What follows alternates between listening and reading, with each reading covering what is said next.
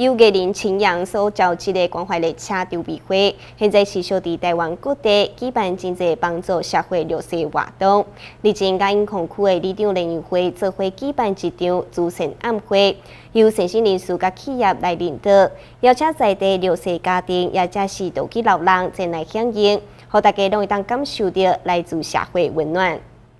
由着艺人青阳所发起的关怀列车筹备会，现在正伫全台湾各地举办帮助弱势的活动。即天来到了银空的广兴乡，举办了一场慈善晚会，现场总共开了八十八桌，邀请区内弱势家庭佮独居老人前来响应。我们的缘由是我们那个艺人秦阳大哥，他一个很好的思想 idea，有一个关怀列车，在我们全省在做一个关怀的系列活动。然后他找到我们永康，是我们刚好我们广兴宫有这样大的庙地腹地来举办这样子的活动，然后由我们当地议员李景议员、杨乙议员以及众多的议员，还有社会团体的制度下举办这个活动，采由各界的认桌的方式，然后捐献出来给我们的弱势家庭来现场用餐，然后看我们的娱乐表演跟物资的发放。伊个就是人讲诶，伊专性的意念吼，有心啊，啊，企业有爱吼，啊，伊针对的就是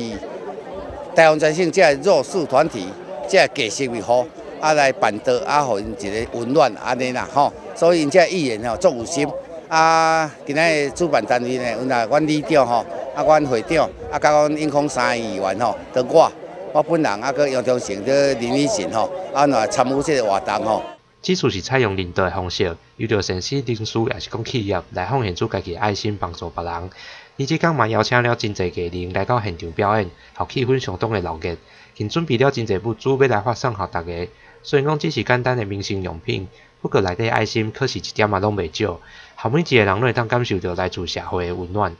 记者葛家明英空区采访报道。